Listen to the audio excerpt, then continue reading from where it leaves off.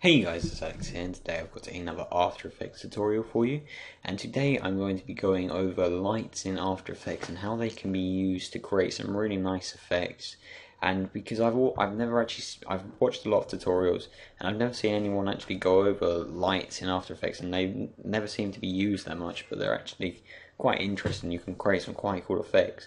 So as you can see I made an intro a while back and I this was only in After Effects and I used lights to create these uh, sort of gradients and blending the colors in on the text on the text as you'll see in a second when I show you a quick preview. And that's what I'm just going to be go over today and also some maybe extra features with some optical flares and also maybe making some 3D text as well. So if we just take a quick look at my intro that I made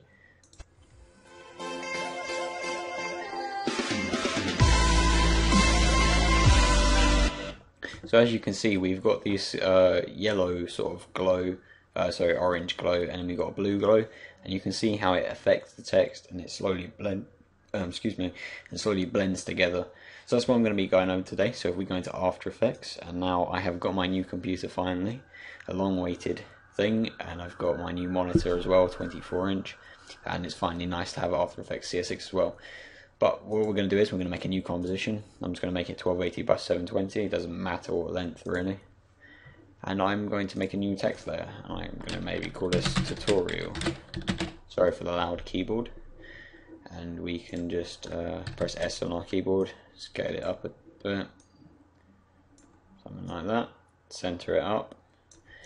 And then what we can go ahead and do, we can go ahead and create a new light and I recommend you put it on point and we can call this orange light and we can make the intensity 100 and just select maybe an orange color and we can click OK. So now this is going to create a new light. Now you'll see that nothing happens but what we'll do is we're going to uh, set up our scene first before we uh, start changing anything. So we're now going to press Control D and duplicate the light a second time and we can call this one blue light click enter. And then we can go and then we can click AA on our keyboards and then we can change the color maybe to a nice light blue like that. So now we have these set up. Now what we can do is we can go layer new and make a new null object. We can call this orange control now this is just going to make it easier for us to control our lights. So we can click P on the orange light and then P on the orange control. Let's move this below. And then we can then just click Alt and then click on the stopwatch of the position of the orange light. And then grab this little pick whip tool and pick whip it, pick whip it to the orange control like that and then click out and now that's now taking the position of our orange control and we can also just make that 3D and I'm just going to do that again quickly. Sorry about this. So make sure you make the null 3D first because then we can get some 3D data as well. Then we can now make another new null object for the blue. And we can rename this blue control. Again I apologize for the keyboard. I need to get a new keyboard. It's just a standard Dell keyboard at the moment. And we're going to click position or P on our keyboard to get up both of the positions and we're going to click Alt, click on the blue light position, pick whip it to our position of our blue control and click out. So now we have set up our scene. And now what I'm going to do, now what we can do is to make our, the light actually affects our text, affect our uh, text layer, we can then make this a 3D object by clicking this 3D cube here. Oh, now I've actually got Ray Trace 3D on at the minute, so it's going to take a bit longer to render. But you, we can do some nice things in CS6. So if you don't have CS6 after this, I will have to. You won't be able to do it, but I definitely recommend you get CS6 because there are some really nice features in this. Um, actually, what I probably could do is I could turn it off. But we'll just leave it for now. It's best for me just leave it. Yeah, ray, the problem with ray trace 3D is it takes a long time to render, so I'm just going to put it back to classic 3D for now. So then we're not going to have a long render time.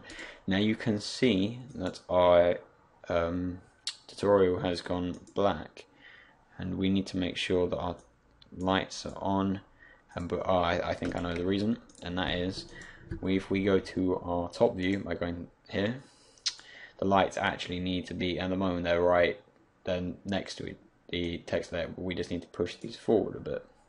So oh now we need to go on the controls so we just scoop these forward a bit mm, that way. Like that now if we go to our active camera you can see we start to get this. But now what we can do is say I'm going to put move the I'm going to move the blue over to this side. Oh, oh wait so I can move it over maybe here. Put that on the edge there. I can get the orange and move it the other way. Oh doesn't want to move. Being a bit of a pain. So we can just scoop this over. And again play around with it. And then we could maybe click AA on both of the lights. Uh, like this. And then we could put up the intensity maybe 200 try that. Yeah maybe 200 just so we get a bit more vivid colors and then a really nice technique that I used in my intro was that we could then there's this if we make a now if you have optical flares I recommend you do this because it will really emphasize the lights. So what we can do is we can make a new solid. We can call this optical flares.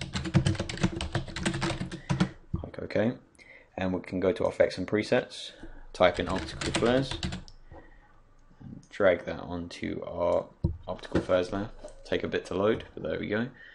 We can put this or we can go F4 on our keyboard and make the transfer mode add so we have no black background. And now what we can do is well actually we'll go select a uh, flare first. So I don't know I'll just use a preset or something. I haven't really looked through them. So maybe the gold um, hmm. We could get the golden sun uh, take off some of these irises so we don't need them all maybe we could then go um, over to the side.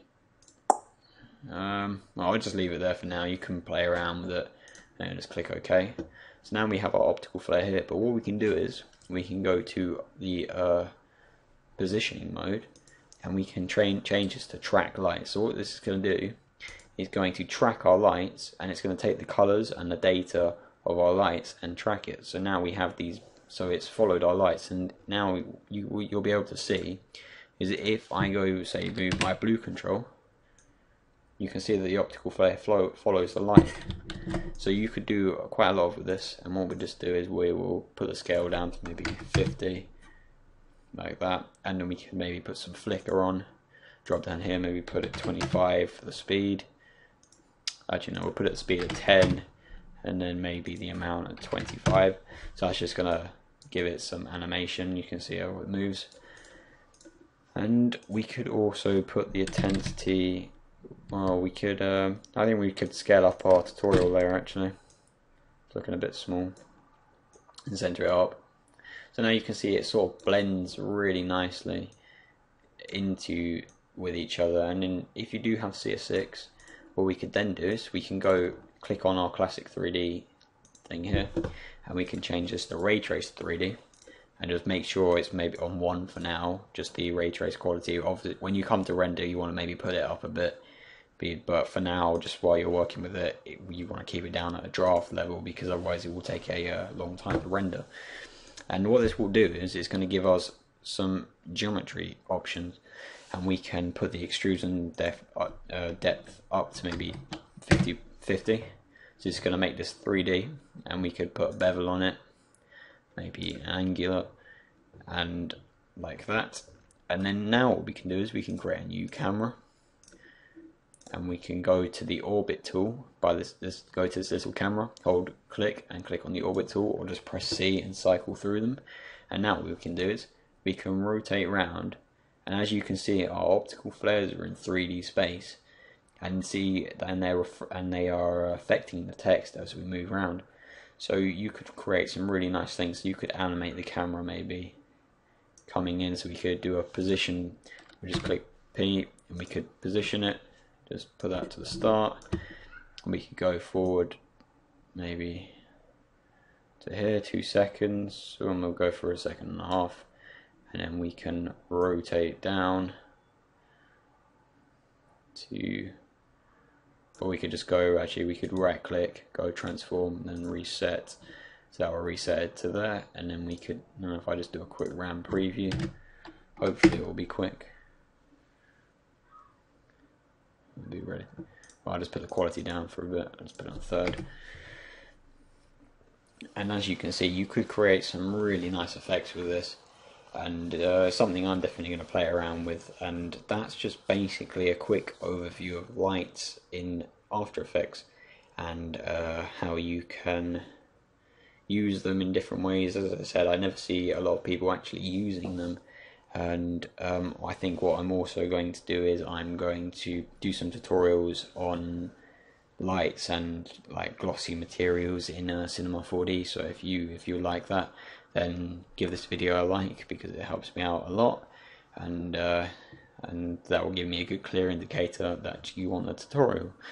So that is about all for today guys. Um, I got a new microphone and I hope you can my voice is a bit more clear and there's a bit more clarity to it and that is all. So thank you very much. I hope you enjoyed this tutorial and I will see you in the next video